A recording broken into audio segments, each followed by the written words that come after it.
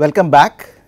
In the previous lecture, we looked at how to use the, the research information that is available in the literature, uh, how we could access it, first how to access it and then we can think of how to use it.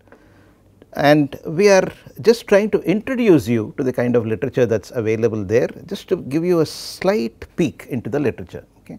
To do that, we started at our usual uh, stage where we are, uh, an intuitive stage and then some work done on that. And uh, I said in this lecture, uh, I would let you know more about the scholarly view on things uh, on this particular aspect. So, let us move forward with the scholarly view. Just to recall, we were looking at left students, right students and means of improving the learning of left and right students in the previous lecture. The scholarly view usually brings about an understanding based on an overarching framework or theory, right. Uh, this is what it is. Um, let me explain this a little better as we go along and uh, the acceptability of the theory is important. Uh, it should be acceptable to the relevant peers around uh, for the theory to be useful to understand where we are coming from, let us take a look at an experiment that all of us would know. We are all engineers. We would certainly know this experiment from physics, the Galileo's experiment, where Galileo was supposed to have dropped a cannonball and a feather from the top of the tower of Pisa. Okay. Uh, that is given as an experiment that is given as the experiment that established the fact that the acceleration due to gravity is the same on all objects, but the conditions under which that experiment was done was realistic. Okay. So, on top of the Pisa tower the person dropping the cannonball and the feather at the same time that is realistic conditions that is equivalent to us teaching a class. The fact that the acceleration due to gravity acts equally on both objects is the theory part, is the framework, the understanding that is necessary for us to be able to generalize some aspect across uh, various different uh, various different objects and so on and so forth to make it a lot more general. And this acceleration due to gravity aspect equivalent is the one that we are going to look at in this particular lecture on um, theory, scholarly view and so on and so forth. Okay. So, you get this idea there is a practical aspect, there is a framework aspect, theoretical aspect. The theoretical aspect will help us understand things in a lot better fashion and um, that is we, we, all know the uh, role uh, that the understanding of uh, the same acceleration due to gravity on all objects plays in various designs and so on and so forth. It is it's so gentle, it is widely applicable. So, the wide widely applicable aspects are the ones that we are looking for. Uh, in fact, uh, you might want to watch this particular video uh, that is available to everyone. Uh, I cannot play it here of course. This shows um, the same experiment that was done in a chamber, huge chamber that is uh, made into a vacuum, the air is completely removed and um, it, it, involved a huge expenditure and so on and so forth. Under those conditions actually the cannonball and the feather when dropped reached the ground at the same time. Okay. It is wonderful to watch and that is uh, an experimental demonstration of the theory that the acceleration due to gravity is the same for all objects. Okay. So, I hope you get the distinction between the importance of theory and how you could possibly use the theory in practice do not confuse the two. Usually the thinking about theory is that yeah it is theory it is not applicable in practice. No it is applicable in a very fundamental fashion across only thing is that you need to be wise enough to see how to apply it. Okay. So please take a look at that. Here what I am going to do is um, we looked at uh, the left students and right students in an intuitive fashion. I told you how I went about um, uh, addressing their learning needs. When converted into a scholarly contribution, let us see how it was done and this kind of bridges the practical world with the theoretical world and then we will move more into theory where you will see the applicability suddenly encompass a large canvas. So, to do this let me pick up where we left off here. Yep, this is full view I think yep very good okay. This is the paper I have been talking about strategies to improve learning of all students in a class. This was published recently in the European Journal of Engineering Education. I am going to read out only relevant parts here.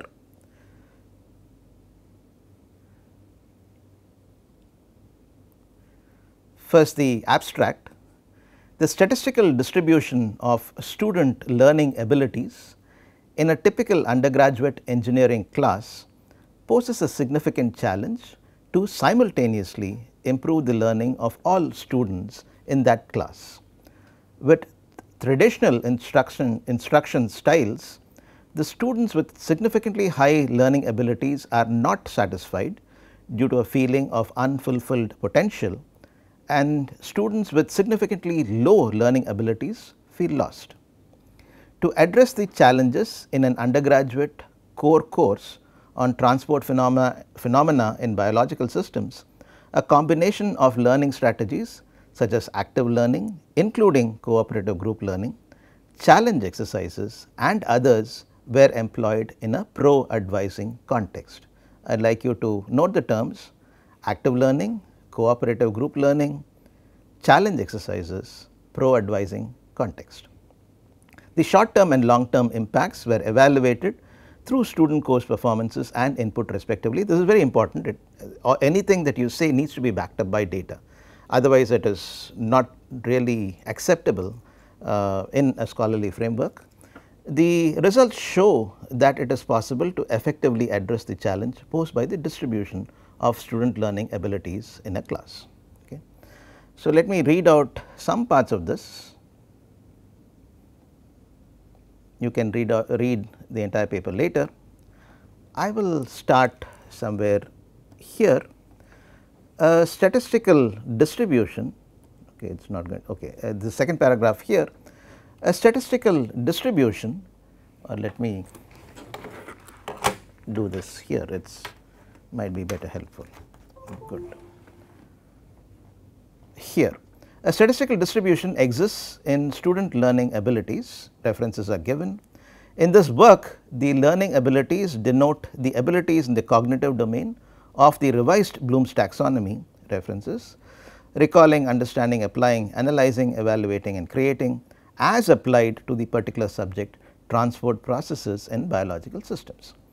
It is known that each student has his or her areas of strength or giftedness in which he or she has easy access to the highest ability levels, a reference given there. This might be an intuitive thing now, but uh, it needs to be backed up by a hard reference here. However, giftedness is area specific reference and the areas of student strength may not be related to the student's undergraduate core course areas or course areas.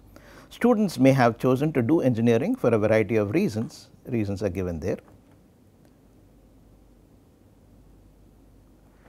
The students who are in the middle, the average or the mean of the statistical distribution of learning abilities are termed average students in this work. From the nature of the statistical distribution, it is also clear that most students in a class are average students. However, students who possess high learning skills, who are at the right extreme of the distribution and students who possess low learning skills due to limited abilities or other difficulties who are at the left extreme of the distribution are not helped much by such an approach. The academic passions of the HLS are not fulfilled, whereas the LLS feel lost in the course and significantly struggle to pass. Academic advising is a critical component in ensuring student success and increase graduation rate. Okay. Academic advising becomes a theoretical concept um, some other aspects active learning theoretical concept and so on. Proactive advising is a deliberate structured intervention to enhance student motivation at the first indication of academic difficulty. it provides students with information before they request it while simultaneously building a relationship with them. Okay. So, you see the various things that were done as a part of improving a practical situation, uh, a, a, practical challenge has these uh, theoretical frameworks then what one can use to understand things a lot better and apply it much wider. Okay. That is the whole idea. So, this is where I will stop and then you, I welcome you to read the paper. What I am going to finish up with is a couple of things. Um, you could I will also uh, invite you to read uh, the comments in table 2 for the CFA exercise how it helped them. I did mention I was surprised by some uh, fraction of the class which found it helpful. Uh, you could see that people even with a C and a D have actually found it helpful. Okay. So, this was the surprise that I was talking about. You can go through this table to understand that a little better. The last thing that I am going to talk about is the question paper design that I said needed to be balanced. Okay. I said I will tell you that later, I am going to tell you that now. The this is essential to help the left students. Uh, this let me first tell you the standard paper, uh, then or before I tell you the standard paper, the diagnostic test which was a deliberately tough test to uh, completely identify all, all LS. An example is given there, you can go through that, that is appendix A1. Appendix A2 is a sample final examination. This was the actual examination that was used, the uh, end semester examination that was used in 2016, okay, when after which this uh, manuscript was finalized. You can see here that this is a quantitative course, transport phenomena and biological systems. A standard way of uh, giving questions in the examination is all problems uh, at uh, different degrees of difficulty. That is a little difficult because problem solving is a higher level skill that we have already seen. And therefore, it is good to start out with um, or to good to have some questions which would test the understanding of students at various levels. Okay.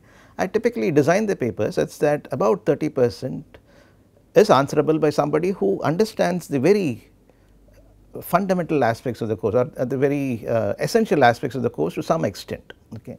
And if they do that then uh, they can attempt to do something more and pass the course is, is the way I look at it. So, the first question here, here A, uh, 1A succinctly or one succinctly differentiate between laminar and turbulent flows in a pipe, Newtonian fluid and Bingham plastic. These are very essential things to know if you have done a course on transport. So, I test these first that carries about 30 out of 100 and then various problems uh, closed ended problems at different degrees of difficulty uh, that are covered here and uh, some highly mathematical ones also these are actually challenging problems here. The level of challenge increases as um, we go down not always and so on. Then so this gives you an idea that uh, we need to give significant thought to the design of the examination or the question paper as we call it so that we address the needs of the entire class including the left students. Okay. This is the point that I was trying to make. Okay. So, to summarize we looked at um, some link between practical aspects that we are used to and theoretical aspects where there is a lot of information that we can understand and use ultimately. There are advantages to doing that, um, the under understanding to sorry uh, advantages to understanding the theoretical aspects and applying it to a more general situation. And then I told you uh, the importance of designing the examination in a balanced fashion. Okay. Let us stop here when we meet for the next part of this chapter. Uh, let us take this forward, let us move more into the theoretical aspects. See you then.